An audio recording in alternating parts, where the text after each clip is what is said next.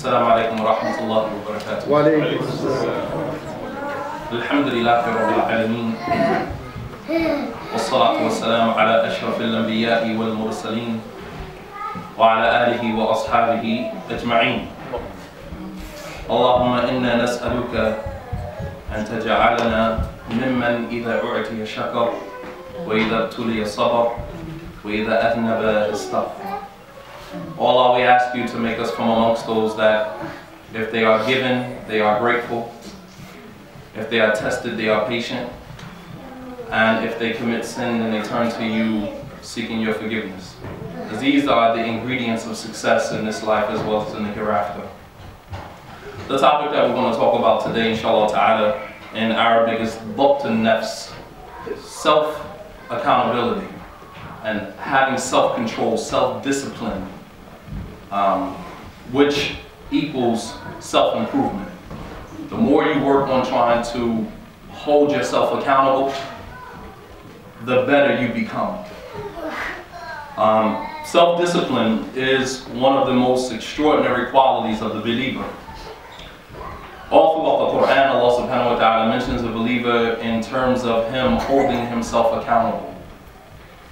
And this quality distinguishes the believer who excels or desire to be greater than the average ordinary Muslim who settles for mediocrity in his deen.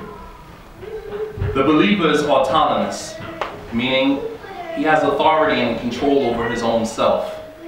Allah subhanahu wa ta'ala says in the Quran, وَكُلُّ إِنسَانٍ أَلْزَمْنَاهُ طَائِرَهُ فِي عُنُقِهِ that every human being we have tied his fate to his own neck. Meaning you are responsible for where you go in this life as well as in the hereafter. You are responsible for yourself. A lot of times as Muslims, we look to our sheikh, our imam, someone greater than us to, um, you know, put the blame on, so to say. You know, what my sheikh told me, or my imam told me. You know, no, it's you are responsible for you. And we can't blame anyone or any particular individual for um, our downfall or our failure um, if in fact we fall victim to that. Allah subhanahu wa ta'ala mentions a very beautiful ayah in the Quran. يا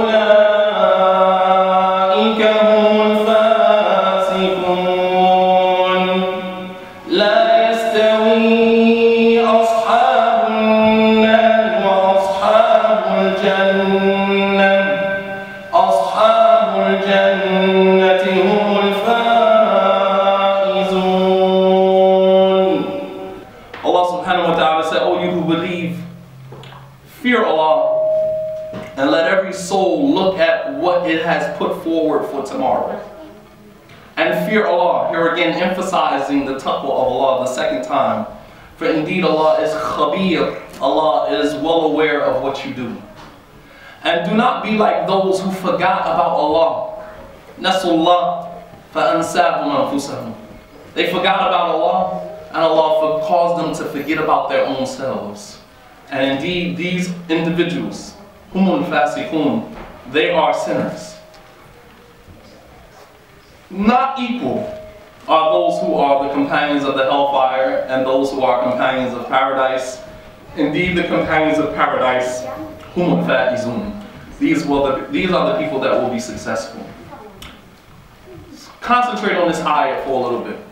Imam al-Sa'di, rahimahullah ta'ala, mentioned in his tafsir of this ayah, وَيَنْظُرُ مَا لَهُمْ وَمَا عَلَيْهِمْ وَمَاذَا حَصَلُوا عَلَيْهِ فِي يَوْمِ الْقِيَامَةِ فإنهم إذا جعلوا الآخرة نصب أعينهم وقبلة قلوبهم واهتموا بالمقام بها واجتهدوا في كثرة الأعمال الموصلة إليه. وهذه الآية أصل في محاسبة العبد نفسه وحرمان كل حرمان أن يغفل العبد عن هذه عن هذا الأمر ويشابه قوم نسوا الله وغفلوا عن ذكره والقيام بحقه سبحانه وتعالى وأقبلوا على حظوظ أنفسهم وشهواتهم فلم ينجوا فلم ينجوا من عذاب الله. Imam al-Sa'di rahimahullah ta'ala in his tafsir of this ayah He said Allah subhanahu wa ta'ala is commanding the human beings or the commanding the believers to look towards the hereafter. Malahum wa ma'alayhim. What deeds will be for you on the day of judgment, and what deeds will be against you on the day of judgment. He said that when the servant makes the hereafter, nasba ayunihim, places the hereafter at the top of his priorities, then this will propel him uh, as well as he used the word qiblatul and this is from the eloquence of the Arabic language. I don't even know how to translate that, to be honest with you. Um, I guess the direction of your heart, all right, if I could use that. And for those of you who understand Arabic, you understand better what that means. Um, and you put, you know, this at the top of your priorities, and you begin to work towards the deeds that will make your home in the hereafter better for you and easy for you. He said this verse is an asl. It is the founding principle as it relates to what is called muhasabah. Muhasabah, which is self-accountability. The servant holding himself accountable.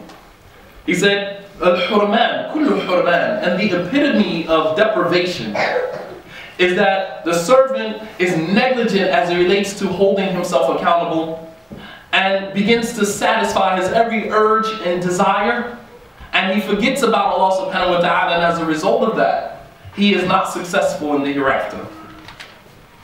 Ibn al-Qayyim rahimahullah ta'ala, he said, as he commented on this ayah, he said, المؤمن قوام على نفسه يحاسب نفسه لله سبحانه وتعالى وإنما خف الحساب يوم القيامة على قوم حاسبوا أنفسهم في الدنيا وإنما شق الحساب يوم القيامة على قوم أخذوا هذا الأمر من غير محاسبة انتهى, انتهى كلامه رحمه الله تعالى Ibn al-Qayyim rahimahullah ta'ala said that the believer قوام على نفسه The believer is autonomous and he has control over himself and he works towards correcting himself. Doesn't wait for somebody outside of himself. A lot of times we wait for other people to correct us instead of doing it yourself. And then when someone corrects you, you say, yeah, you know, I know, brother, I know. If you know, then correct it. Why wait for someone outside of yourself to correct you when you can do it yourself? The believer is qawamun ala nafsi. He has authority over his own self. And whoever holds himself accountable in this life, then his accountability in the hereafter will be easy.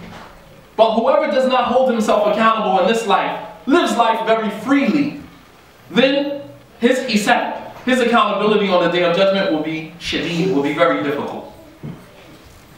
كتب عمر بن الخطاب رضي الله عنه وكان أشد الناس محاسبة على نفسه حتى قال أنس بن مالك رضي الله عنه سمعت عمر يوما وقد خرجت معه حتى دخل حائطا فسمعته يقول وبيني وبينه جدران وهو في جوف الحائط يقول عمر بن الخطاب أمير المؤمنين بخ بخ والله يا ابن الخطاب لتتقين الله أو لا يعذبنك الله Umar bin al-Khattab anhu, and he was one of the most serious people when it came to holding himself accountable. Because that's the last thing you think about in dialogue with himself and holding himself accountable. Anas he narrates to us an incident between him and Umar bin al-Khattab He said, I went out with Umar one day and he went to go relieve himself. And between me and him, there was a wall, partition. He said, I could hear Umar, but I couldn't see him behind the wall. And he was talking to himself. He said to himself, Amir al-Mu'mineen, bakhin, bakhin. He said, leader of the believers. Yeah, right. He said, Oh, Ibn al-Khattab, you are going to fear Allah or Allah is going to punish you. Intimate dialogue with himself. He's talking to himself. You khatib nafsah. He's talking to himself. Ibn al Khattab, you are either going to fear Allah or Allah is going to punish you. Talking to himself. How many of us have that type of relationship with ourselves? These type of topics, it's not important to people who don't have that relationship with their own selves. We live in a time where people bury their souls under a lot of superficial facade.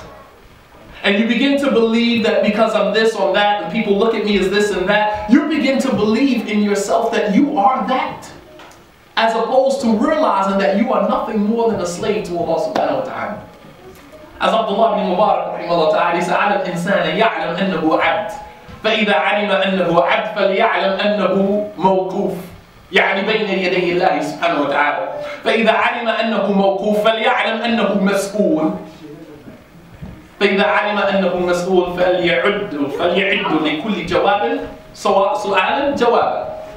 He said that it's upon the, servant, the, the individual to realize that you are nothing more than a servant of Allah subhanahu And if you realize that you're nothing more than a servant to Allah subhanahu wa ta'ala, then you must know that you are mawkuf, that you are going to stand before Allah subhanahu wa ta'ala. And if you know that you are going to stand before Allah, then you should also know that you are going to be questioned by Allah subhanahu wa ta'ala. And if you know that you're going to be questioned, then prepare for every question a response. But Umar ibn Khattab he wrote a letter إلى بعض أماله. Some of the people who used to work for him, governors that he placed in different positions, he would write them letters advising them. So on one occasion, he wrote them a letter, and at the end of the letter, he said, أن حاسب نفسك في الرخاء قبل حساب الشدة فإنه من حاسب نفسه في الرخاء قبل حساب الشدة عاد مرجعه إلى الرضا ومن ألحته حياته وشغلته أهواؤه عاد أمره إلى الندامة وخسران Umar, he wrote a letter to his workers, people that were underneath him, that worked for him, governors, people that he put over position, over people. He wrote to them a letter and he said, حاسب نفسك في الرخاء قبل حساب الشدة. Hold yourself accountable while things are easy before there comes a time where your accountability is given for you when things are going to be difficult for you. Hold yourself accountable for when things are easy. Hold yourself accountable before the heavy accountability in the hereafter. He said, because it is easy for a person to hold himself accountable today than to wait till Yom Qiyamah and hold yourself accountable then. He said, whoever holds himself accountable now then your end result will be prosperity and you'll be happy. He said, but whoever lets himself go and follows his every desire, then your accountability in the hereafter will be very difficult. We have to learn how to be, brothers and sisters, spiritually disciplined and holding ourselves accountable and spiritually responsible for ourselves and not leaving our accountability to be in the hands of other people. Ibn al-Qayyim rahimahullah ta'ala, something very important here, he said, Al-muhasaba thalathatu arkan. He said that holding yourself accountable, it has three pillars. I want you brothers and sisters to play, you know, pay close attention. Because هذا صلب الموضوع كما يقال, this is the meat and potatoes of the subject matter. He said, للمحاسبة ثلاثة أركان that holding self-accountability, it has three, it has three pillars. He said, الركن الأول أن تقايس بين نعمتك وجنايتك يعني أن تقايس بين ما من الله وما منك فحينئذ يظهر لك التفاوت بهذه المقايسة تعلم حقيقة نفسك Ibn Qayyim rahimahullah said that self-accountability has three, um, three pillars. The first is to compare the ni'mah, the blessing that Allah has given you, to the sins that you commit. Compare the blessings that Allah has given you to the sins that you commit. Wallah alim, we could stop right now. Wallah alim, if I said nothing else for the rest of this lecture, how you feel? yakfina. He said, compare the blessing that Allah has given you to the sins that you commit. He said, and when you do this, he said, it will become clear who you really are. Whether you're grateful or whether you're ungrateful. You don't need anybody to tell you you're ungrateful or you're grateful. You don't need anybody to tell you that. You can do the math on your own. Compare the ni'mah of Allah to the sins that you commit. Allah subhanahu wa ta'ala gave us eyesight to see the truth. And yubsid al-haq, to see the truth. To see the things that are pleasing to Him. And we use it for just about everything other than that. Which reminds me of a narration that was mentioned about Urwa ibn Zubayr. Urwa ibn Zubayr, he was the son of Zubayr ibn Awam. Zubayr ibn Awam was the cousin of the Prophet Urwa, he had to get his leg amputated, had to get his leg removed. So when they brought doctors in, they said to him, offered him khamr. Back then they didn't have pills that would numb you or a needle that would numb you. So what they would do is they would drink alcohol to numb them so that they could remove whatever part of the body they needed to remove. So they offered Urwa some khamr, and Urwa said, the haram fi dinina. That is haram in my religion. They said, well, what are you going to do while we are, you know, removing your leg from your body? How are you going to numb yourself? He said, Allah subhanahu wa ta'ala. He said, I'm going to remember Allah. And it shows you that the remembrance of Allah subhanahu wa ta'ala numbs you to the pain that you experience in this dunya. La ilaha illallah. The remembrance of Allah subhanahu wa ta'ala numbs you to the pain that you experience in this dunya. Yusuf alayhi salam, what did he say? قال رب السجن أحب إلي مما يدعونني إليه he said, oh my Lord, prison is more dear to me than what they call me to. I would rather be in prison than to commit fornication or adultery. I would rather be in prison. The remembrance of Allah subhanahu wa ta'ala, the time that he was in prison, he was given da'wah. He wasn't even thinking about being in prison. Because the remembrance of Allah subhanahu wa ta'ala numbs you to the pain that you experience in this dunya. So what I said, I remember Allah. And as he began to remember Allah subhanahu wa ta'ala, um, he fell unconscious. And that's from the mercy of Allah subhanahu wa ta'ala because the human being, our body, our capacity, our ability to withstand pain is to such, it has its limit. And when it reaches that limit, the body you naturally fall unconscious. That's from the rahmah of Allah subhanahu wa ta'ala. He fell unconscious. When he regained consciousness, Urwa asked, where's my leg? They said, your leg is here. He picked his leg up and he kissed it and he said, Wallahi, Allah knows ma uh, that I have never taken a footstep, khutwatan, ila ma haram Allah. I've never taken one footstep with you towards something that is haram. Never.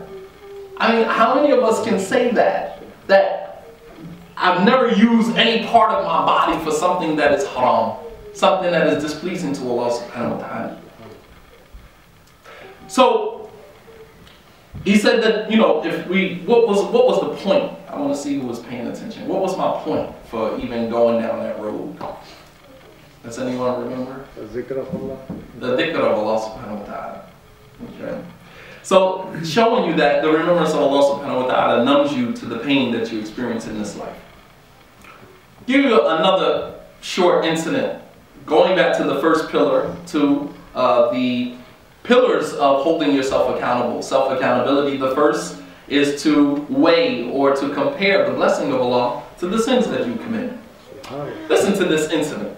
قدم رجل إلى إبراهيم بن أدهم فقال يا شيخ إن نفسي تدفعني إلى معاصي فعظني موعظة فقال له إبراهيم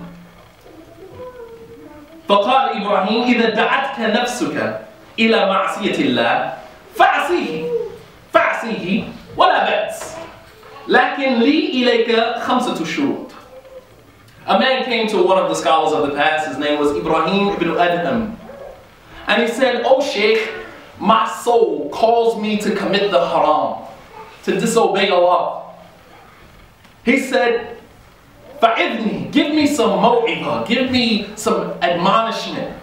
Give me some admonishment so I can stop committing sin. So Ibrahim said to him, he said, no, disobey Allah. Fasihi, disobey Allah. Whatever. Nothing wrong with that. Disobey Allah. He said, however, I have five conditions for you. Five conditions. If you can meet these conditions, then go ahead and disobey Allah. Show you the hikmah of the scholars.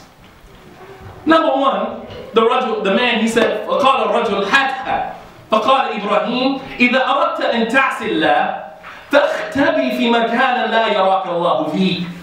فسكت الرجل ثم قال زدني. فقال إبراهيم إذا أردت أن تعصي الله فلا تعصيه فوق أرضه. فقال الرجل سبحان الله وأين أذهب؟ وكل ما في الكون لله سبحانه وتعالى. فقال إبراهيم أما تستحي أن تعصي الله وتسكن فوق أرضي? The man said, give me the five. Ibrahim, he said, first, he said, if you want to disobey Allah, then go hide in a place where Allah can't see you. Go hide in a place where Allah can't see you. Where are you going to go where Allah subhanahu wa ta'ala can't see you? Well, Allah subhanahu wa ta'ala sees everything. The man said, Zid, give me more. He said, secondly, he said, if you want to disobey Allah, then don't disobey Allah on his earth. He said, aren't you embarrassed or ashamed to disobey Allah and then turn around and live on his earth? Aren't you just a least bit of shame? Don't you have just a little bit of shame to disobey Allah and then turn around and live on his earth? That's like a person stealing out of your car and then going to sleep in your car.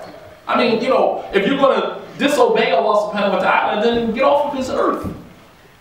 The man said, okay, give me more. فقال إبراهيم فقال الرجل زدني. فقال إبراهيم إذا أردت أن تعصي الله فلا تأكل من رزقه. فقال الرجل سبحان الله وكيف أعيش؟ وكل نعمة من عند الله سبحانه وتعالى. فقال إبراهيم أما تستحي أن تعصي الله وهو يطعمك ويسقيك ويحفظك ويحفظ عليك قوتك So the man, the Ibrahim said to the man, number three, if you want to disobey Allah, then don't eat from his provision. How he feeds you, and then you turn around and you bite the hand that feeds you. And, you know, figuratively, obviously. How does Allah subhanahu wa ta'ala keep feeding you, and then you turn around and disobey him? He's trying to make the man conscious about sin. And a lot of times we don't think about sin in these terms. We think, okay, I'll just make tawbah. Allah subhanahu wa ta'ala ghafur rahim. We don't think in terms of comparing the ni'mah that Allah has given us to the sins and the transgressions that we commit. He says, so if you're going to disobey Allah, then don't eat from His provision. So the man says, subhanAllah, how am I going to live if I don't eat from His provision? Ibrahim said, Aren't you just a least bit of ashamed to disobey Allah subhanahu wa ta'ala when He has bestowed all of these blessings and favors upon you? The man said, Every ni'mah that I have is from Allah. As Allah says in the Quran, وَمَا بِكُم مِّن نِعْمَةٍ فَمِنَ اللَّهِ That you don't have any blessing except that it's from Allah. So then why do we take those same blessings and then turn around and disobey Allah subhanahu wa ta'ala with them? إبراهيم فقال الرجل زدني. فقال إبراهيم إذا عصيت الله إذا عصيت الله ثم جاءتك الملائكة لتسوقك إلى النار فلا تذهب معهم قال الرجل سبحان الله وهل لي قوة عليهم؟ إنما يسوقوني سوقا. فقال إبراهيم فإذا قرأت ذنوبك في صحيفتك فأنكر أن تكون فعلت فعلتها فقال رجل فأين الكرام الكاتبون وملائكة الحافظون الشهود الناتقون Ibrahim said that if you want to disobey Allah, number four, if you want to disobey Allah subhanahu wa ta'ala, then he said the next time you disobey Allah, then when the angels of death come to take you to the hellfire, then don't go with them. Don't go with them. He said, How can I refuse not to go with them? They just want to take me and drag me to the hellfire. He said, Number five, when you read your sins, if you want to disobey Allah, then when you read your sins in your book of deeds on the day of judgment, then deny that you did any of it. Deny that you did any of it. He said, Well, how can I deny what Allah subhanahu wa ta'ala has kiram and katibun, has angels that write down everything. وَمَلَائِكَةَ الْحَافِظُونَ and angels that were there protecting me and was watching over my deeds was shuhud amatikun and my hands and my feet and everything else that's going to testify against me. As Allah subhanahu wa ta'ala says in the Quran, يَوْمَ نَخْتِمُ عَلَى أَفْوَاهِهِمْ وَتُكَلِّمُنَا أَيْدِيهِمْ وَأَرْجُلُهُمْ بِمَا كَانُوا يَعْمَلُونَ that on the day of judgment we will seal their mouths shut and your hands will talk to us and your feet will talk to us about everything that you used to do. As a matter of fact, there's another ayat where the human being will dialogue with his body parts and will say to the body parts, Why did you testify against us? And the body parts will talk back to him and say, hmm. Allah subhanahu wa ta'ala is the one that calls us to talk, the one who can make anything talk. This is a dialogue between the human being and his body parts. Sure.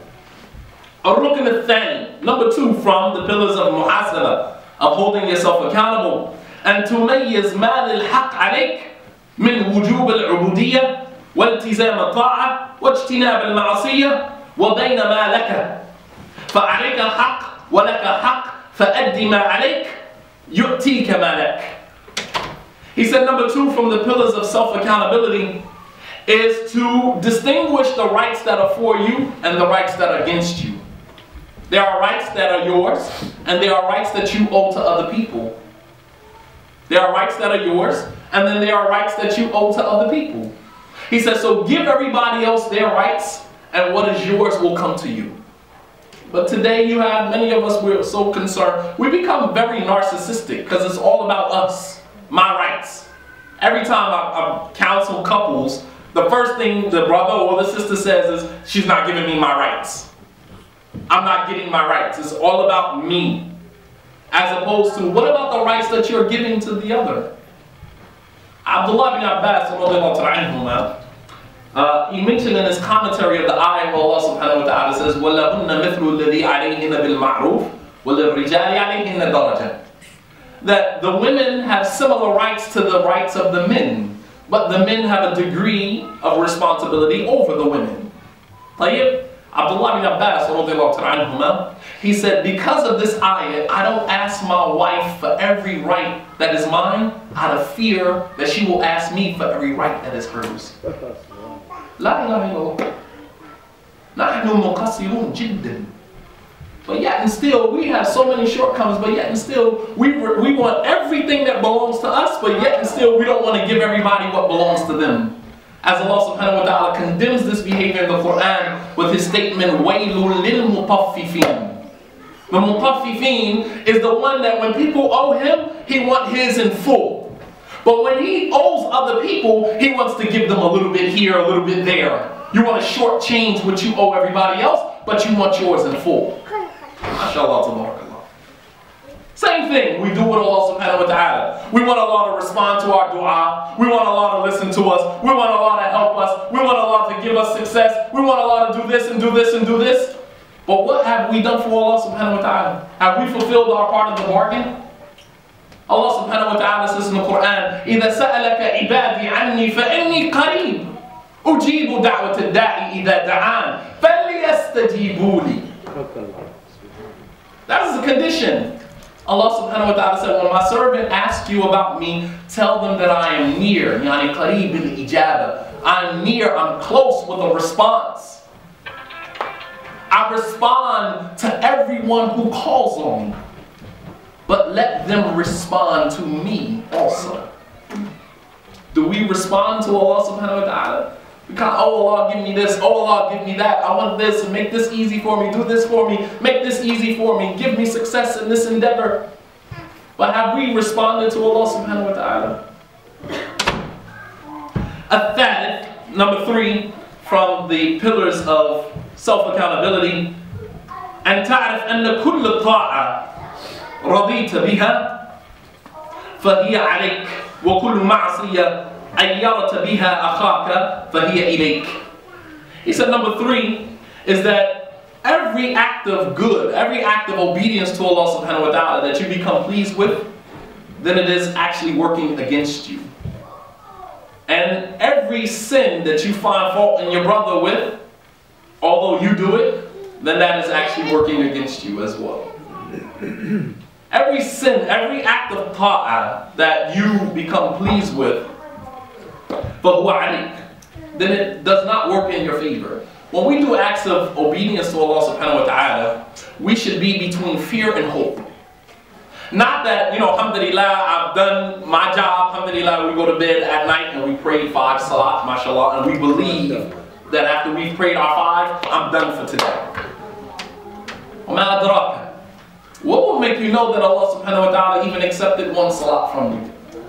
We should be in fear when we go to bed, did Allah accept my prayer? Abu Bakr as-Siddiq he said that if I knew for a surety that Allah had accepted from me two rak'ah, it would be better for me than everything in the dunya. Just two rak'ah. We go to bed after making five salat, and we believe, khalas, adaytna alayya, I've done my job. But Allah subhanahu wa ta'ala is not obligated to accept anything from us. Allah mentions in the Quran that those who do righteous deeds, وَقُلُوبُهُمْ وَجِلًا While their hearts are in fear, in fear that Allah won't accept anything from them. That Allah subhanahu wa ta'ala won't accept anything. So when we do acts of worship, it's not that we, you know, we become pleased, you know, alhamdulillah, I made Hajj. When you come back to America from Hajj, you should be in fear. That, did I spend all this money and all this time and energy, is that even accepted? Is it even maqbool? We have husnul dhan with Allah subhanahu wa ta'ala. We believe. You know, we, we believe that Allah subhanahu wa ta'ala is merciful. But we should never be so our conviction should never be to such a degree that we never look back at the deed and contemplate and reflect on whether or not Allah has accepted it or not. We should be in fear when we do our good deeds, as well as trying to find fault with, you know, our brother who may have uh, a sin and we commit the same sin, and yet and still we find fault with him for the same sin that we commit. Umar ibn Khattab, in ending, he gave some very beautiful advice. He said, حاسبوا أنفسكم قبل أن تحاسبوا. He said, وزنوا أنفسكم قبل أن توزنوا. فإنه أهون عليكم في الحساب غدا أن تحاسبوا أنفسكم اليوم وتزينوا للعرض الأكبر قال الله تعالى يومئذ تعرضون لا يخفى منكم خافية عمر بن الخطاب رضي الله عنه he said حاسبوا أنفسكم قبل أن تحاسبوا Hold yourselves accountable before there come a time when accountability is taken for you. It's the same thing that happens in this life with people who are criminals or have criminal behavior and they run the streets and they do whatever they want to do. And because they didn't take account of themselves, they're put in a place called prison and account is taken for them. So they have a place for people who don't know how to take account of themselves, who live life doing whatever they want to do and then later on, somebody is telling you when you can wake up, when to go to sleep, when to use the bathroom, when to eat, when to be quiet, when to see your family, when you can't see your family. Somebody else is holding you accountable because you couldn't do it yourself. And that's just a small microcosm of what happened life. Then your reckoning in the hereafter will be very difficult because we didn't hold ourselves accountable. So Omar said, hold yourself accountable. Hold yourselves accountable before accountability is taken for you. He said, and weigh your deeds before your deeds are weighed for you. He said, for indeed it is easier for you to hold yourselves accountable today than for you to be held accountable tomorrow, meaning in the hereafter. He said, and beautify yourself, meaning with good deeds, so that when you stand on the day of judgment in front of everyone, that you know, you will be proud of the deeds that you've done. Because on the day of judgment, everybody is going to stand before Allah subhanahu wa ta'ala. Everybody. Naked, uncircumcised, waiting for their judgment.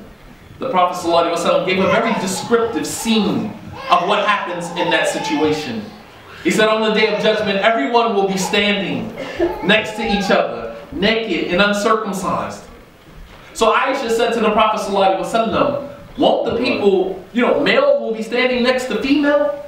The Prophet ﷺ, he mentioned an ayah from the Quran where Allah subhanahu wa ta'ala said that every human being on that day will have enough concern of his own to be worried about someone else. No one will be worried about anybody.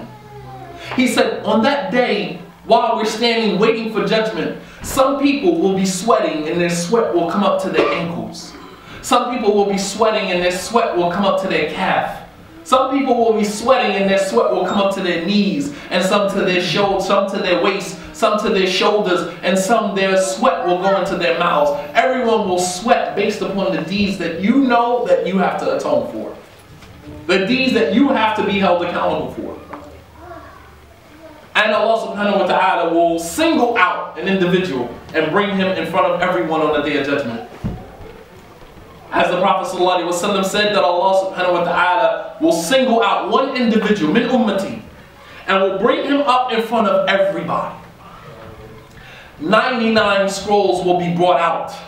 تسعة وتسعين سجلة كل سجل مد البصر 99 scrolls will be brought out, every scroll as far as the eye can see. And Allah subhanahu wa ta'ala will say to the servant, How tunkiru shay'an. Do you deny any of this? And the servant will say, No.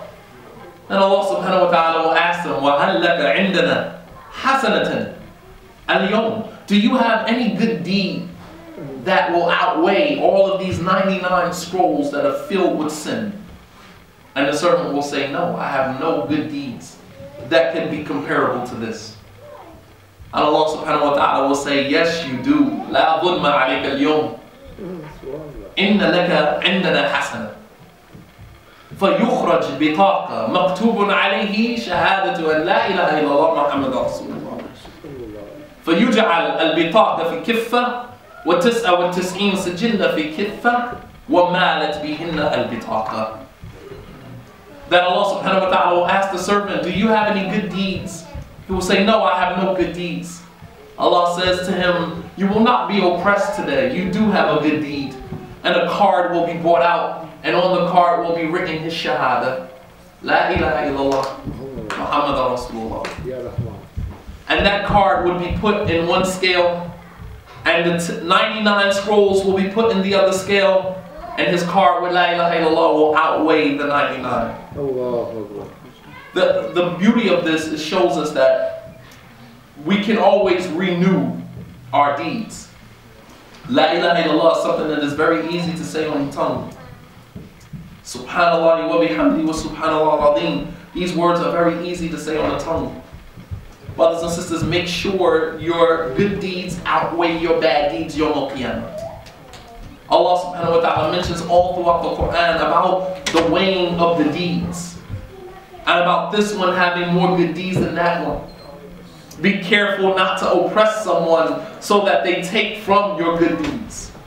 As the Prophet ﷺ, he said to his companions in ending, أَتَدْرُونَ مَا الْمُفْلِسِ Do you know who is broke?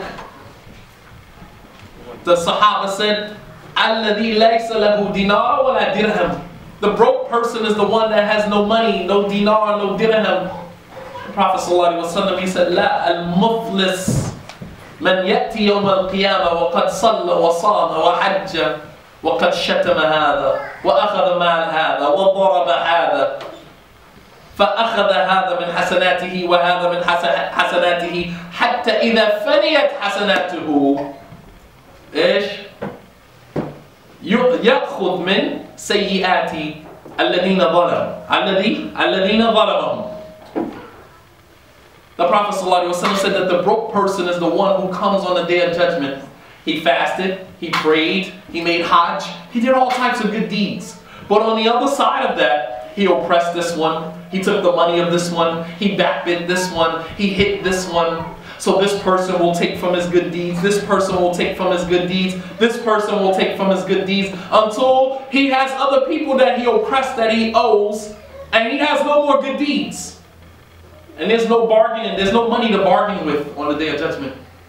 The Prophet ﷺ, he said, من كان عنده ظلم لأخيه فليؤده إليه قبل أن لا يكون دينارا ولا درهم.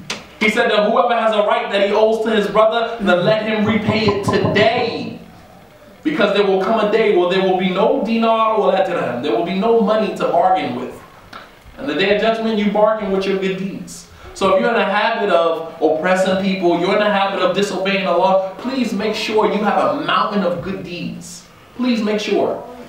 Because you have people who spend their lives, Muslims, who spend their lives, you know, oppressing other Muslims. Yet and still they don't do anything good. So when you run out of good deeds that you owe people, the only thing left for the people to do is for you to take from their bad deeds. And after you take from their bad deeds, Allah subhanahu wa ta'ala commands the angels to drag you to the hellfire. Where Brothers and sisters, we ask Allah subhanahu wa ta'ala to give us the ability to listen to the best of what we heard and to follow the best of what we heard. Uh, I know that this subject matter was a reminder for, for the most of us. And alhamdulillah, the reminder benefits the believer. Uh, we are living in a time where um, many people are just not spiritual at all, period. Including us as Muslims. And you would think that as Muslims, we pray, we are the only religion that prays five times, structural, five times a day. The only religion in the world that prays that amount of times a day, bare minimum. And some of us are some of the most irreligious people you could come in contact with. I find that very difficult to believe. How is a Muslim not religious or not spiritually connected when you pray five times a day? How is that even possible? But it has happened. Because we don't tend to deal with the soul. We don't deal with those intricate matters of our religion. We stay on the surface. Pray five times a day, fast the month of Ramadan, give salams, give sadaqah, alhamdulillah. Make hajj, make umrah, alhamdulillah. But we don't go any deeper than that. We don't work towards purifying the soul and those intricate qualities that make us a human being. Your soul is what makes you a human being, not your body. Your soul is what makes you a human being. And we ask Allah subhanahu wa ta'ala for His tawfiq in all of our endeavors. We ask Allah subhanahu wa ta'ala for his success in all of our endeavors. We ask Allah subhanahu wa ta'ala to uh, make our uh, hisab, yasira, make it easy. The Prophet ﷺ used to supplicate, Allahumma hasibni hisaban yasira. Oh Allah, give me an easy reckoning on the day of judgment. That we ask Allah subhanahu wa ta'ala to give us an easy reckoning on the day of judgment and not to hold us accountable for the things that we do out of ignorance or the things that we do um, out of forgetfulness. For indeed Allah subhanahu wa ta'ala ولي ذلك وقادر على كل شيء وصلى الله على نبينا محمد وعلى آله وصحبه وسلم تسليما كثيرا. ربنا آتنا في الدنيا حسنة وفي الآخرة حسنة وقنا عذاب النار. اللهم إنا نسألك الهدى والتقى والعفاف والغنى. اللهم إنا نعوذ برضاك من سخطك وبمعافاتك من عقوبتك وبك منك. لا نحصي ثناء عليك ولو حرصنا. أنت كما أثنيت على نفسك وصل اللهم على نبينا محمد وعلى آله وصحبه أجمعين. وآخر دعوانا أن الحمد لله رب العالمين. والسلام عليكم ورحمة الله وبركاته.